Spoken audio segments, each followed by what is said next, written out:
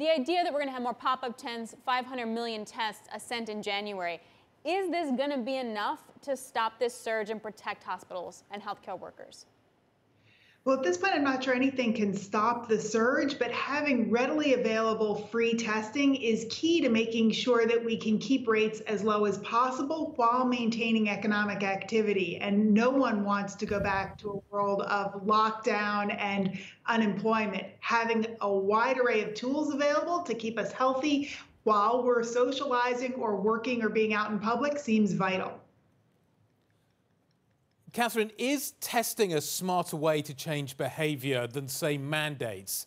Um, we're trying to force people, we're trying to pay people to get vaccines. Uh, however, some people are resistant to that. Handing out free tests, I wonder whether that is a way actually of getting more people to alter their behavior, to recognize the risk, rather than forcing them down one particular avenue. I think we want to incentivize lots of behaviors at the same time. Having free and readily available testing is going to be a huge help, but I think we also want to continue to incentivize vaccination. Vaccination is much better than um, prevention of transmission alone through masking, hand washing, testing, all of those are important, but they're complements to vaccination. So I'd love to see strong incentives, and they can be positive incentives on all of those behaviors. We're expecting to hear from President Biden that there's going to be no lockdown restrictions. Is that the right way to go? Do we need targeted restrictions, particularly when it comes to schools? What do you think is the best policy? If we could properly incentivize people to get vaccinated, get boosted, test regularly, and that's, you know, PCR testing when it's suggested by having a real exposure or having symptoms, but home testing before going to even small gatherings. I think if we could incentivize all of those, we wouldn't need to have lockdowns.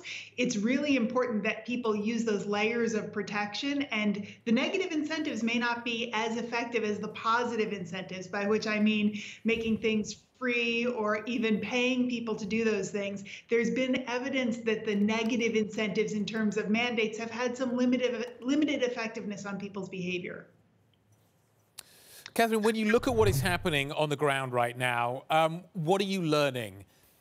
Is what we are seeing with Omicron, which is becoming by far and away the dominant force here across Europe and increasingly in the United States, is this playing out in the same way that the previous waves have? Is are there critical differences that we need to adapt? I'm just wondering if, if the kind of the playbook from Delta is the same playbook we should be applying to Omicron.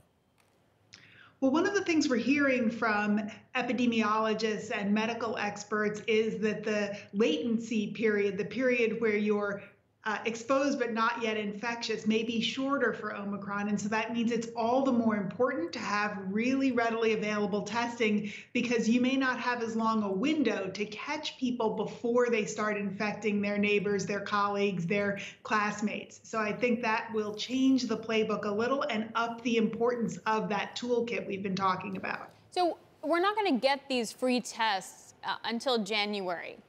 What's the what, what would have to happen for us to be able to just walk into a CVS or Duane Reade and get a free test? Like, would that ever be our reality? That's what Guy gets to do over in London. Um, is that going to be with something that we can actually implement here? There are a couple of things that need to fall into place for that to work. First of all, we need the supply of the tests, and I understand that that is gearing up as quickly as possible, but that we're still short, and the supply chain problems that we've seen throughout the economy uh, are present there too. But then there's also the free part. We need to make sure that the funds are in place, whether it's through private insurers, whether it's through the government mailing tests, so that people don't face any financial barriers to getting those tests. Similarly, we need to make sure that tests and vaccines are available to people in ways that work around their work schedules, their school schedules. We can't expect people to take a lot of time off work to be able to uh, follow those best practices. So we need supply, we need the money in place to do it, and we need the convenience to make sure that it's readily available in people's real lives. In an ideal world, let's say that the there was no shortages, that there were tests available. I'm talking about the lateral flow tests here. How often with Omicron do you think I would need to test? You just, as you just said, the, the gap between getting it and becoming infectious is incredibly short right now. And I've certainly seen examples of that just anecdotally in my own life, that, that people get it very quickly. They test negative one day, they've got they're testing positive the next day, and and you can see the impacts of the spread off that person getting it to other individuals. How often with Omicron do you think we need to be testing? Is it every day? Is it every week? What do you think the duration should be? Well, I'm not a medical doctor or an epidemiologist. I'm an economist, but I understand the importance of incentives and of externalities, the way any person's behavior affects other people yeah. around.